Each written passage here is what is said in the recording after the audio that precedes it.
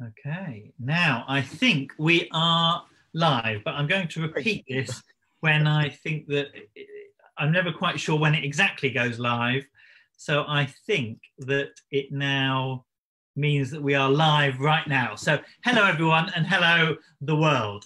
Um, uh, my name is Lloyd Russell Moyle. I'm the Member of Parliament for Brighton, Kemp Town and Peacehaven, which covers Brighton and Hove Council and Lewes District Council, which is in the wider East Sussex authority.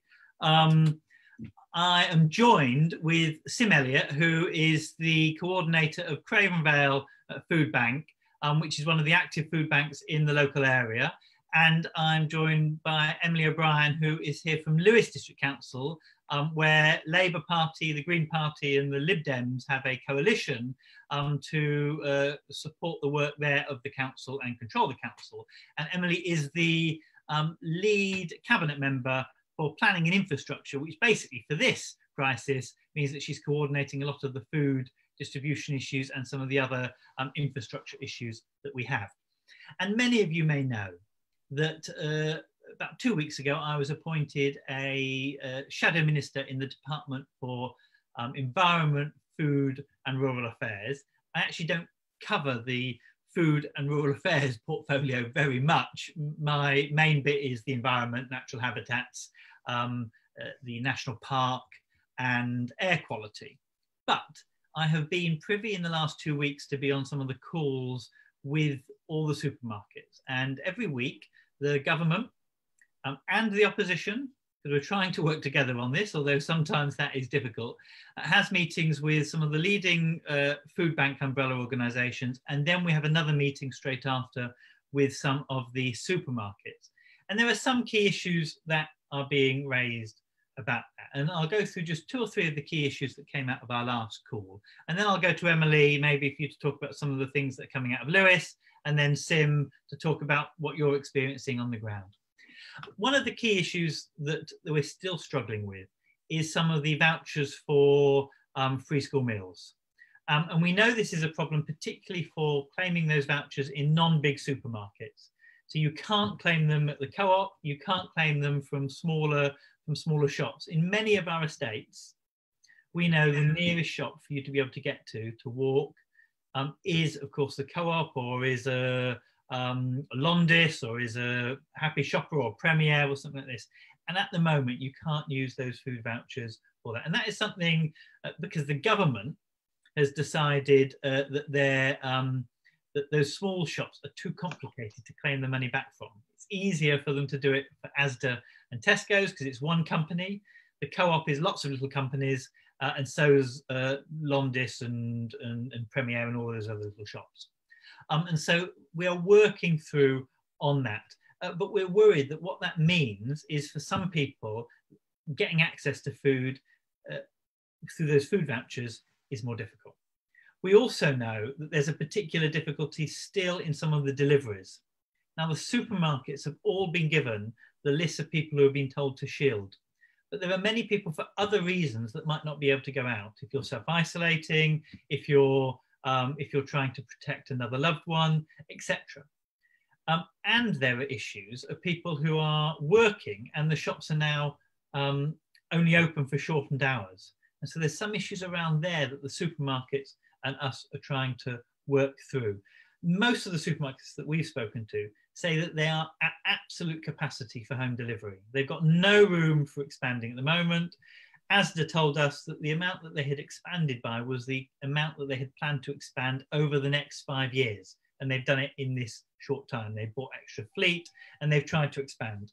But we can't expect much more room from there. So what's key is trying to direct people to the right uh, available food source. And if people can get out, to actually make sure they do go out to shop rather than using the delivery routes, which need to be prioritized for people who really can't, either because maybe you're a key worker and you're just, um, uh, or mainly because you're shielding or self isolating. And then we've got an issue, of course, about trying to make sure that we feed people who have lost maybe income that they had previously expected. And this is where we see a huge rise in food banks. And the difficulty there, um, I know in Whitehawk on this, this weekend, we ran out of um, or not, not ran out, but we had a shortage of tin food. um, particularly tin vegetables. So the idea of how do we get those things to the right place at the right time. And then we have this perverse situation that people might want to ask in the questions. Of, at the moment, we are throwing milk away in this country because bizarrely, you might not realize this, we're actually drinking far less milk than we normally do. All those lattes that you normally have that are 50% milk, you have two lattes, that's probably half a pint gone already. People aren't drinking them. This means the milk market has dropped out, uh, uh, the bottom has dropped out, and a number of farmers are throwing the milk away down the drains. And so we're desperately trying to find a way of preserving that so we don't waste food during this period as well. And that includes drying some of that, turning it into UHT or cheese, or encouraging farmers to divert production to things that we need and have shortages with. So that's a summary of the key things that came up um, uh, came up uh, in our discussion. There is a bigger discussion about how we're going to pick the vegetables and fruit um, and stuff when the harvest comes along. And there's been some discussion about whether we create a land army of volunteers to go out and do it. Well, you would need lots of people to do that because they are unskilled, untrained people, or whether we try and get people who are skilled and trained to come very regularly, but often aren't residents in Britain.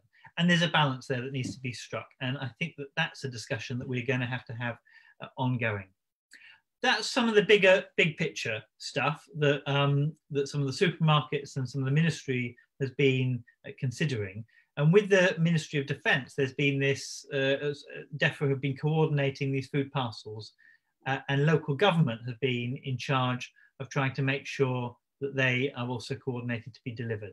I don't know, Emily, if you want to talk about what Lewes District has been doing to try and make sure some of those people on the shielding list are getting their food, but also some of those other people that might be very vulnerable but haven't quite yet fitted into the shielding list but need to receive certain food parcels because they can't get out of their home at this time. Yes, thanks, Lloyd. Yeah, I'm. Oh, we can't hear you at the moment, Emily. Oh. Actually, I think that's just me. I can, go now. I can hear you. Yeah. Okay. Great. Okay. Yeah, thank you. Yeah, I'm Emily O'Brien. I'm a councillor and cabinet member in Lewes District Council. Um, one of the uh, main responses we've had, well, there's a couple of main things that we've done as a council, although I, I could comment on some of the issues and absolutely agree with what you're saying about supermarkets needing to step up here. Um, supermarkets have done well from this crisis and we do need more of the slots. I'm happy to talk about that later. But um, what we've done as a council is to set up a community hub, which is um, a kind of helpline and online registration form for people who are in need of support to get in touch. So it has been quite a little bit confused what people need to do. I know people have been, um, if they're clinically extremely vulnerable, their GPs might have registered and they might have registered themselves. But as you said, many people fall outside that bracket. Um, and there, um, anybody who needs support, whether that's with um, shopping or with um, accessing food because they can't afford food, or whether it's because they need to access some company or help just getting medicines, is welcome to ring that number. And, and people should have had through their letterbox, or they will be getting in the next few days, anyone in Lewes District, a reminder of that phone number. Um, and the way that the community hub works is it can signpost people for help. Um, and that's mainly through local groups. So some of that's our established groups, our established food banks, um, befriending organisations. Um, but also there's a lot of new groups have sprung up. You know, there's so many COVID-19 mutual aid groups. So we're working with around 60 groups at the minute and signposting between them and passing people on. And at the same time, the other main thing we've done is to kind of ensure that there is enough food in our system for those people to get fed in this time. Um, one of the things we're seeing is, is um, people who could potentially sort themselves out for food, whether they're the shielded group or just vulnerable for other reasons, but they're not necessarily able to access delivery slots. So they're requiring emergency food for that. And that's one of the things that we've been raising nationally, like yourselves, and really would like to see change because we're really worried about the scale of need out there. Um, and we're seeing a big increase in demand for emergency food. One of the things that, um, you know, we're concerned is that the community response could be overwhelmed. But in the meantime, we have brought in a lot of food. Um, we've packed up and distributed around 800 food parcels um, to food banks to support their efforts, along with other food as well. We've redeployed some of our staff, so people who would have normally been operate working in, you know, other roles that aren't open anymore, they're now busy packing up food it's often in really big tins. So, you know, the kind of catering type food, because nobody can get supermarket type food, it's been short. So, we're using some of the catering type food, really massive tins. Not always perfect what you'd want, but people have been really, really grateful for it. Um, and we're de- de- delivering those to organisations and also to individuals if, if there isn't a suitable organisation and playing a big role around making sure those groups are all talking to each other as well. So we have weekly Zoom calls and a WhatsApp group to put all those groups in touch with each other. Fantastic. Thank you uh, very much, uh, Emily. Uh, it's interesting you were talking about the catering uh, supply food there. One of the things that, again, people don't realize necessarily is that a lot of companies will only supply to catering suppliers. And changing suddenly to domestic supply is actually a process that can't happen straight away. So how we manage that and lewes district actually process of doing some of that is one of the things that we raised um, on the ministry call. I mentioned lewes district particularly actually uh, because a lot of councils haven't been doing that and they've been saying they've been struggling to get hold of food. And so that is something that now the government will look at advising all councils to do to be able to use those resources because we want to keep the catering supply lines open as well. We don't want those catering companies to end up going to the wall and then when things reopen also have a problem with some of those supply lines. So that is really important to try and uh, keep doing that and I think that's really good that Lewes District has done it's also really important that we're signposting to local shops as well, because sometimes even if we can't get the supermarket slots, as local shops are able to. And one of the things we've done is put on the Visit Lewes website a list of all the kind of, you know, as many as we can of the kind of pubs and restaurants um, and organisations that are now delivering.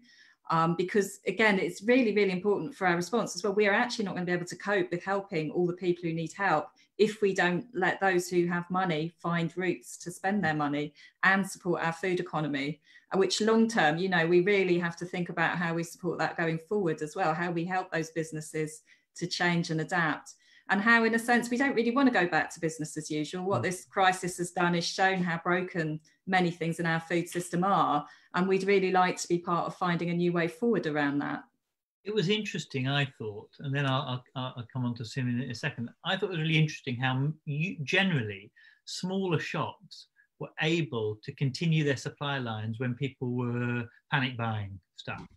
And there was a number of reasons for that. What, but in terms of food resilience, clearly they were more able and more nimble to source suppliers. But the second part of that is that engaging with your local shop with a local person that you look in the whites of the eye of and you know because you regularly go in there or you know because they live around the corner from you actually developed more social responsibility for what people were doing and buying when people were starting to panic and i think there is something about having to build that social responsibility mm. back in to food and how we buy things and we're really going to tackle some of these big great issues that are coming forward like climate change and and, and, and needing to create more resilient communities, that surely is a way forward. Absolutely. I mean, between I'm a, obviously as a green councillor and someone who works in food and food poverty and food issues anyway, that is my life. Um, I absolutely think that food is such an important part of climate change, and it has been a little bit on the back foot. But this crisis has really brought that to the front. I mean, between a fifth and a third of our individual carbon footprint is based, uh, depending which figures you look at, is based on the food we eat. So if we don't address that, we're missing a trick, frankly. So I'm hoping that we can, you know, look into the future when we get past the immediate crisis, we're able to do something really amazing around seeing food as part of the solution and food employers as part of the solution. I mean, so many people who, even before this crisis, so many of the people experiencing food poverty worked in the food industry, whether that's around farming or catering or, you know, supermarkets people have been underpaid in that sector and it's not been valued. So, you know, I, I, think the fact we've all been able to change our habits, we've got used to getting deliveries, we've started to buy direct from suppliers, veg boxes are completely sold out, those kinds of things. I'm hoping that that could help to, to, you know, in a small way, bring about some changes going forward. Yeah, No, fantastic. And I think that um, building those local communities, as well as building um, uh, better, better engagement uh, um, in terms of food banks and shops, is one of the things that you've been working on at SIM. I mean, Craven Vale is a small little area um, of, of, um, of, of, a set of council um, and social housing that was built well, probably in the 40s, maybe I'm right, um, right next to an area that is a relatively affluent area, but has a mixture of very nice houses, including houses of multiple occupancy and flats that have been turned in. It's not a huge area in the city, but it has a real mix of, of people. And your local food bank has really stepped up to be able to serve those people. What are those issues that you're seeing in that real mix of area of people who might never have been on benefits or received yeah. support or who might yeah. be coming to you, as well as people who also having to support the, the, the regular users in the area? Um, I, I, think it's a, a, dramatic change for a small independent food bank. Um, I'll give you a bit of the context of that. We serve the Craven Vale estate, which is exactly as described. We also serve Bankhurst estate, which is another small council estate in Brighton. Um, I think the first thing to say is that there was a huge amount of food poverty within that social housing already. Um, as a result of the impact of the casualisation of work, people on very precarious work, zero hours contracts, people were already experiencing food poverty. Um, and also the issue of universal credit rollout. Um, people can't access universal credit quickly, so in food poverty for that time. And another really significant factor is that even if you're on universal credit, the cost of housing in Brighton is so enormous that you can be in food poverty even with all the benefits that you're technically uh, entitled to. I think one of the huge impacts, uh, well, the impact of coronavirus was colossal and immediate. In the space of um, uh, uh, three weeks, we had a threefold increase in referrals. It was enormous. Four weeks ago, we had about 20 to 30 people coming into the food bank, collecting a food parcel, self-selecting what they needed. Um, last Friday, we delivered food to 127 people in 69 households. That's 85 adults and 42 children. I mean, that's a colossal increase. And that presented itself with a whole number of significant logistical issues. First is people. We don't have any staff um, we are just volunteers who work within a community association. So we're not like a, a Trussell Trust uh, food bank that is just a food bank. We have a, a food bank that runs typically on a Friday for a couple of hours. We've had to go to a delivery um, system because obviously people can't come into a food bank because of social distancing, which means to start we had to recruit a very large number of new volunteers. Um, one of the positive sides of, uh, of this uh, terrible crisis is that it's it's there's been an outpouring of, of, of sort of community love um, and a real sense of mutuality. People want to help each other, whether they know someone or not. They just want to get out and do something, which has been amazing.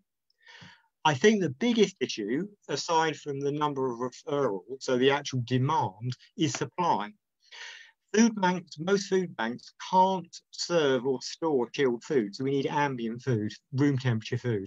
Well, room temperature food means tins and long life food. Those were the first things that went from shops.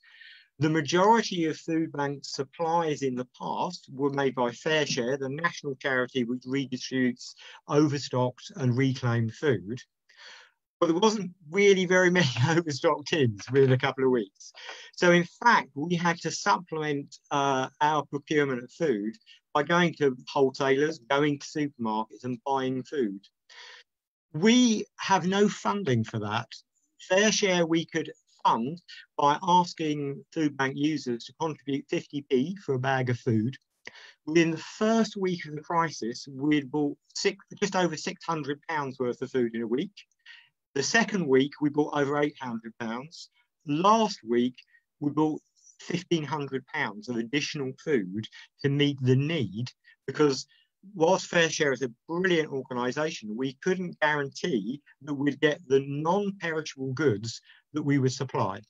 Now, typically food banks give top-up bags, which is a roughly three-day supply of food, because we assume that people can access food elsewhere. That's not true for a lot of our, our, our users now. We've got people in absolute poverty. Um, someone phoned me for a self-referral um, on Friday saying my universal credit comes in on the 30th. Until then, I have 37 pence. So a top-up bag isn't going to be enough for him.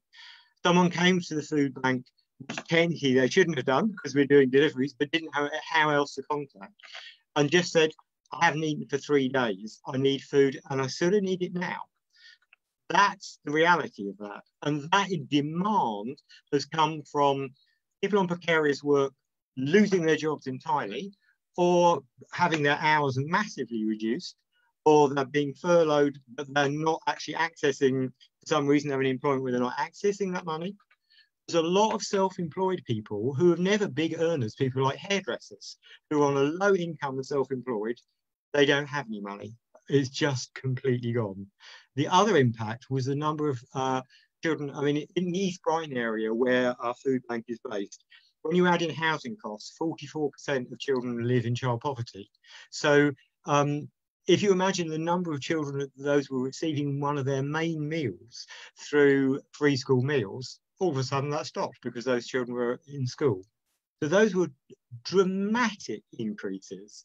So the difficulty for a very small independent food bank is you need to uh, cater for a huge number of um, new referrals, be able to actually have the staffing, the people power to do it, and then secure the food. I mean, we're very lucky in Brighton Hove because we're part of the Independent Food Network and the council and the Brighton Food Partnership, which um, uh, facilitates the Independent Food Network, have amazingly stepped in. We've got uh, Hungry at Home Fund, the council has contributed to that, so we're now able to access um, uh, additional food supplies from the Food Partnership funded by crowdsourcing and the council. The amount of donations from just ordinary members of the community has grown uh, immensely. So there's a huge effort, but actually every week we're still going to need to buy food where we didn't do that before. So we've had to go for crowdfunding. We've had some very generous donations from council award budgets. Um, uh, the local. I saw, I saw Sim that there was one. I know, and I'm sure a lot of political parties are doing this. I know the local Labour Party members who can afford paying a bit extra every month. That's right. That's right. Yeah, our, our branch. One of the one of the members went down and spent that uh, all at Asda, and, and yeah. snapped them and said, "That's right." Hoarding pot noodles. And the yeah, yeah. came out, the man was actually buying um, huge amounts of it. wasn't all pot noodles either. Yeah. We're, we're very lucky. The local Labour parties here, branch parties, because we we're in East Brighton, but we serve two wards. Uh, the parties have established a solidarity fund where members put in money, and that's being split between all the emergency food provision in the two wards. Yeah. So we've got because you're you're covering actually three wards. That's right. Labour and Green councillors. So we've That's got right. East Brighton, which is all Labour. You've got which is Craven Vale, Baker's Bottom Park, which is two right. One Green, and the Pancras yeah. which is three Labour. Yeah, uh, yeah. Three green, sorry, three Green. So you've yeah. got an equal mixture there, um, and and hopefully they're all they're all chipping in. Look, I've got some questions that mm. I might be able to do. Um, uh, so the first question um, which I suspect it might have a slightly different answer for Lewes and yeah. for, for the Brighton area, um, is from Carmel. And she says she wants to donate food or donate to a food bank. Mm. What is the best type of food to donate and where can she drop it off? How okay. can she contribute? So if I was in uh, Brighton Sim, how would okay. I do that? Do I deliver it directly to you or is there a centralized coordination? for food bank deliveries, the, the best thing to do for food bank donations is to look on the Brighton and Hove uh, Food Partnership website, go to the how to refer to a food bank, and it lists all of the food banks in Brighton. So you can phone them up and make direct deliveries. Mm-hmm. The important thing is, unless a food bank has cold storage, which many don't, um, dropping off vegetables that are going to perish is only really useful if you do it a day before or uh, on the day of uh, distribution because all food banks now have gone to deliveries. We can't store any chilled items. So things like milk, um, cheese, unfortunately, we can't accept. The best things are by far are tins or non-perishable foodstuffs that uh, people in food poverty can use as and when they, they need. Um, tins of uh, fish, tins of meat are good, uh, tins of vegetables, tins of fruit, pasta, rice, noodles, bread. If bread is really important, if you can get it uh, while it's fresh into the food bank. Okay, perfect. And Emily, in Lewes District, is there the same? Is there the same coordination portal, or is it more town by town? Yeah, it's a similar answer, really. Um, so obviously, we want to avoid unnecessary journeys in the current mm. climate. So one of the best things is to do, is to make a connection with a local food bank or local COVID nineteen group. Um, and we do list the main food banks on the Lewes District Council website. So if you go to the front page, there's a quite helpful set of resources, which also includes if you want to volunteer as well, there's an option around registering to volunteer because sometimes people want to give their labour rather than their mm. food and are able to help in that way. So if you, um, so again, you can either contact a local group and offer your services direct, um, or you can do it through the website. Um, but we wouldn't tend, we wouldn't probably take individual donations. It's better if you can find your local group to donate to. Um, and we do, as I said, have a bit of a listing of those on the website. If you live in if you live in Telscombe or East Saltdean, you can drop mm. them off at the Civic Centre. So there's a there's a place to drop off there, and I think they get collected by FareShare fortnightly or, or weekly. But that then I think gets distributed to a wider area. So it, I should have want, said that, yeah. yeah. yeah. You want to yeah. know that it's going to your local food bank, you've got to make contact with them. But there are drop-off points like at the Civic Centre and a number of supermarkets where you can you can drop off. Yeah, and most of the supermarkets still have their donations kind mm-hmm. of, you know, many of the supermarkets they have a little trolley mm-hmm. or somewhere you can donate and many of those are still um, working. Um, it's also might be worth mentioning, particularly thinking of um, Sims area as well. Um, but it um, but it would also be relevant for the bit of Lewes that's that we're talking about as well. The bottom bit of Lewes is that if you if you if you're a company with like a large amount to mm. donate, mm. and we are seeing quite a lot of that. You know, businesses that have had to mm. cease, they might have quite big amounts of surplus food. They can um, contact an organisation like FareShare Direct, or they can also yeah. go on the Brighton and Hove Food Partnership website, and that will then get that call will then go out to organisations who can distribute those larger amounts. So I know there's quite a few businesses have been incredibly generous and it's been really welcomed. Um, and that that although it's the Brighton and Hove Food Partnership website, it will cover the areas up to as far as Newhaven as well. So. No, that's that's really good as well. And you're right about also the mutual aid groups, although that's less about donating and more about matching people up. Um, if in Brighton, there's mutual brightonmutualaid.co.uk website you can go to, and then it lists all the mutual aid groups in Brighton. There's a map there you can locate where you are. Um, I've joined all of them, so I see what's happening and bubbling under the surface, or someone in my office has a look at that.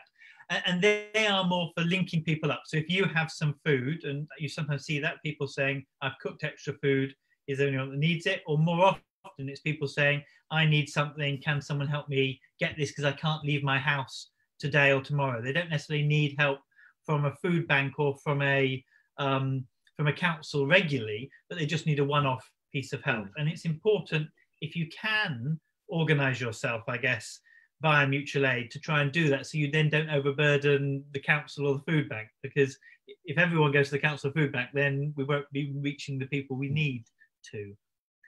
I've got a I've got a question from uh, Ben. Um, he says how is the government expecting shielded persons to survive on SSP, statutory sick pay, which is the same now as universal credit? It's been universal credit's been lifted up. It's just over ninety pounds a week. um, for the maximum of 12 weeks that we're being shielded for? Now, that's a very good question. How are you meant to survive?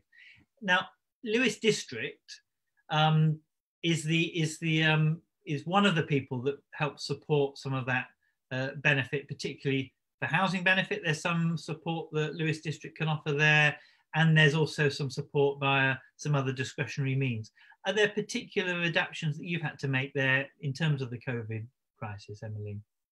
Um, yeah, I would I would encourage people to contact to again look at the website. So there is a council tax reduction scheme, and we had actually just recently, um, before the crisis, but it's been really timely.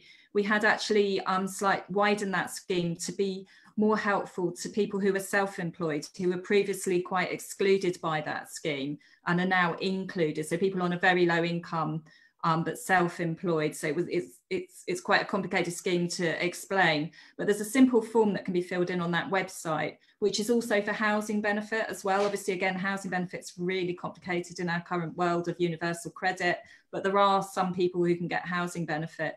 And we would encourage you to fill in that form. It's, it's the, you know, look at the website, do the form. That's the best way to access it really. Um, and there's also the website's the best place to go for business support information as well. There's a number of ways in which, again, it's it's complex, um, yeah. but um, and we would say, you know, if if you're looking at it and you're just bemused, um, you know, to get in touch. Particularly, one of the ways that we're encouraging people to get in, in touch, and it's seen a huge increase, is to go on the website and then use the web chat function. And that's a really good way to speak to an advisor without using up the phone line for those people who really, really need that telephone mm-hmm. support. Um, I must have, I used that the other day, Emily, at Lewes District, because we had some problems about um, catheters being collected. Mm um, uh, which I hope that we we're on, on the course of resolving now. But I used it and I found it extremely useful actually. You know, usually I'm a bit skeptical about these automated uh, mm. chat boxes, but I got the manager, the person I needed to speak to, and and so people shouldn't be afraid of using those things if they can, uh, even if they've not done it before. But I, I was very impressed by the, the speed of the response from Lewes on that. Great. And it, it, does really help us if people can use online if they can, because obviously, like everyone, we've got a lot of our staff working at home. Mm-hmm. Uh, we've got a lot of demand on our phone lines. And if you can go online, we can generally answer your question more quickly. And, you know, whether it's the web chat or using a, an email or a web form. But it does mean we can leave the helpline open for those who lack mm-hmm. internet access. And they are one of the biggest group of people that we're trying to support at the minute is the people who aren't digitally literate, who can't get yeah. online deliveries, who can't use Amazon, can't use the, the supermarket deliveries if they can get them. Um, it, would it be a good moment? Is it possible just to give the phone line out for anybody? Really useful. Give the phone, phone so as I said, if you can use online, go to the website, use online. But if you can't, then it's 01273 099956. So that's 01273 0 treble nine five six. Perfect. That's good. Look, I've got another question here from Mary Jane. Um, she says, with so many people now relying on food banks, it's difficult to see how we get out of this situation. What do people think is going to be the answer to such over reliance on food banks coming out of this? Now, this is an area that I'm, how we move out of the crisis, I think is as much of an issue that we need to be thinking mm. about now um, as some of the other issues, because different sectors in different parts of the country, particularly in parts of the country that rely on tourism or hospitality, will suffer for much longer than maybe other places that have a more manufacturing base where people can go back to hmm. factories mm. and start working. Sim, is there any thinking locally, your local food bank, about how you support people going forward and try to actually? Um, I mean, we don't want a reliance on food bank in the end. I think it's a really complex issue because I think we have to acknowledge there's a food poverty crisis that existed before COVID. Mm-hmm. So even when the COVID crisis ends, there's still going to be a lot of people in food poverty. So there needs to be systemic structural changes to address that. In terms of people who are using food banks now, um, I think what we're trying to do is identify people who need all of their uh, week shopping as opposed to people who need a top up and supplement that with a shopper. So what we've gone into, as well as delivering food, pairing people up with shoppers so that people can continue having some autonomy, getting the food that they can afford, and then we top that up. Because what we don't want people to do is just become reliant on delivering food. In the long term future, I think this brings in the whole a huge question about the universal credit system. I think it's broken. I think it, the the delay in getting it out, and then the fact that when you get it, you're still in poverty. My personal belief is I think we need to move to a universal basic income because actually a lot of the things that have happened in the last few weeks, if everyone was getting a universal basic income, wouldn't have happened.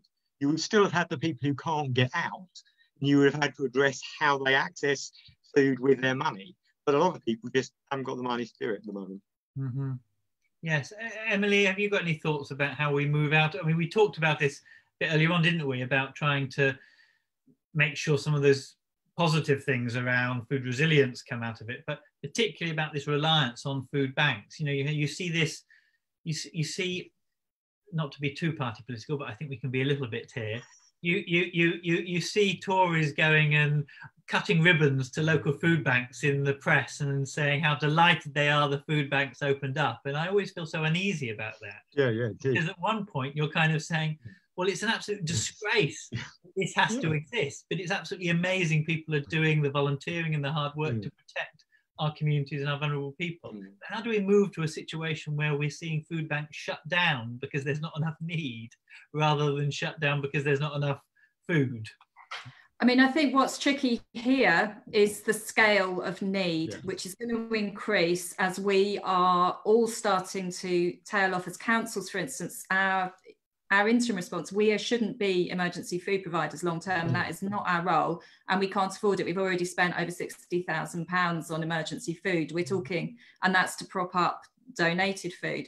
So one of the very first things in relation to the scale that food banks told us is that food banks aren't going to be the answer here, which is why we've stepped in to support that response. But we've got to be honest here and say, actually, do you know what? Food banks were never the answer here, no, and they right. never should be the answer. And what we don't want to see is a return to business as usual yeah. when that business as usual involves a lot of people reliant on food banks. Yeah. And I really hope that if there's any learning from the amazing community response here, that we've seen the kind of sudden value people have placed on our food supply chains that have always mm. been you know, we've just got really used to taking for granted. Mm. I really hope that there is an opportunity to build on that. No, I, I, I hope so too, really. And and I think we we have to we do have to look about how poverty in Britain is really tackled mm. at the moment. I, I, mean, I'm a great supporter, as, as, as, you know, Sim, of a form of universal uh, basic income. I mean, I think universal basic income is not a panacea, and you still need a level of targeted support, whether that be um, for disability purposes, whether that be for respecting particular housing needs and housing costs. But generally, the idea I'm a universalist at heart. Mm. I like to try and give everything to mm. everyone according to their need. So it doesn't mm. mean that ev- everyone gets exactly the same thing, but everyone gets access to the NHS. Not hmm. everyone gets a plaster cast on their leg, depending on your need. But everyone does have access to it. Hmm. Um, and then what you do is we pay it back via taxes. And actually, it would have been far simpler and quicker for the government to have done that, to have said, we're going to give £2,000 yeah. to everyone. And don't worry, those of you who are still earning, you're going to pay it yeah. back anyway next year because we'll adjust the tax band slightly and you'll, you'll pay it back anyway. They didn't decide to do that. And I suspect universal basic income for the immediate crisis is now no longer on the table. Mm. So uh, there's no point in flogging a dead horse. But there is the possibility of looking at a universal basic income or what Spain is talking about, which is a basic uh, um, uh, basic income floor. So mm. it says that there must be a basic that everyone needs to receive, mm. and that could be calculated on a on a basic of, of, of need of living rather than just this arbitrary universal credit. Because yeah. going back to Ben's point, statutory sick pay, universal credit, all of that myriad of benefits, not only does it take too long for them to get, but actually they're just unlivable on. Mm. And one of the positives that might come out of this is that you have a lot more people who suddenly are aware about the awful treatment that we yeah. have given people who are on benefits in this country yeah. for many, many years. And rather than um, wanting a race to the bottom on these things, rather than pushing more people into poverty and food poverty, mm. it might be an opportunity for us to say, let's redo a new social contract Mm, with the state and the people. And of course, it doesn't mean that you can, you know, the social contract works both ways. there are rights and responsibilities, but a new social contract can really um, found a, a place where food poverty is something of the past. Yeah. Um, and food banks convert from having to donate food because of food hunger to great resources of um, how to cook and use food. And you start to Yeah. see that in different places where yeah. it's not just about money with food poverty, it's also about knowledge of Yeah. food and confidence with food. And that's then the, what we need to tackle. But there's no point in tackling that if you don't also don't get at least food for people Yeah. uh, to start with. Look, this has been an interesting discussion. We usually try and go on for about half an hour, uh, 45 minutes, which uh, 40 minutes, which we have done now. Um, so I'm going to uh, going to wrap up and say thank you very much for coming. Is there anything, Sim or Emily, that you think hasn't been said that we probably need to cover for people? Um, I think just to say, you know, be aware we are there to help. Look on our website if you're in need of help. Um, I think one of the things we're seeing is people who are in need of help sometimes don't want to come forward. They they're aware help is there, but they think it's Yeah. not for them. And particularly, I think what one of the things we're seeing is a ramping up in people's isolation, um, Mm. and it's very difficult when you're indoors. Mm. Um, sometimes, you know, to to kind of to admit that that can be an issue. So I think, I suppose one of the things is food and company often go together, don't they? We bring people together over food. We have feasts at weddings. We have food at funerals. I think there's something around the fact we're not eating together and eating with our mm. families that is also contributing to that isolation. So Yes. I bring those two things together and say, you know, don't be afraid to get in touch, even if you, even if it's not about the food, it's about the company let us put you in touch with someone around that. Um, and I suppose I'd also, say, you know, echo your view, Lloyd, around saying it's really important that we don't just go back to business as usual. Mm, mm. I mean, as a Green, obviously, we've had universal Mm. basic income on our agenda since you didn't even know what it was. But this is beyond, this situation is beyond any party politics. We need everyone to be on board with those kinds of solutions and absolutely working cross party in the minutes. it should be. What party you come Mm. from makes no difference. We've all got to work together to, to fix this. I mean, I, I could try and defend and say that some of Gordon Brown's um, introduction of uh, uh, tax credits was an attempt to start to rebalance the state. So the poorest were starting to get things back from the state. And it was a transition moment that we could have used that. But of course, 2010, we all know what happened. We lost power and that momentum to start changing the way that the state redistributed money uh, changed. That's maybe a generous uh, playing of, of, of, of that, but we can we can leave it there. Is there anything sim? Give you that. yeah, in, in Brighton, I think I'd just like to say that Brighton Council has got an excellent um, web page where you can refer for help, refer yourself or anyone else. So just Google um, ask for help Brighton Hove Council and you'll get to the right place. Then you'll be referred on to a community food bank or um, some form of mutual aid or if you have emotional, uh, psychological difficulties about the crisis, you can be signposted on. Picking up on Emily's point, one of the things that we're picking up a lot, we serve a, a, an estate with a very large number of older people who have no internet access, who are either shielding or self-isolating, and they're anxious, they're frightened, they're getting quite depressed. With our shopping volunteers, one of the things that we've noticed is just having regular contact you start off talking about what you need at the shop and end up being a bit of a chat. And I think there's a huge need for that. There's organisations like Together Co in Brighton, which are facilitating um, telephone befriending. Um, they're looking for volunteers at the moment. I think maintaining the mental health of the nation is really as, as important uh, maintaining their physical health and their food needs at the moment. Fantastic. Look, thank you very much, uh, Sim. Um, thank you everyone that has um, uh, joined in on this uh, this call. Um, look, the main thing that I would always say is make sure that if you are struggling, you reach out. You reach out, whether it be to your neighbour or whether it be to your friend, um, whether it be to the council or the food banks that we've heard. No one needs to suffer in silence, whether it is for food purposes or whether it is just in loneliness purposes. And there are things you can do together. Me and my neighbours had dinner in our doorways the other day so that we could still chat to each other um, across the road. There are things that you can do that are creative if you need to, but there are also people to help if those things are not possible and they're not for everyone. Thank you very much, Emily. Thank you very much, Sim. And thank you. Thanks. And we will try and do again another one next week um, on a different topic. Uh, and hopefully we will get your comments back. Thank you, everyone. Good night. Thank you. Good night.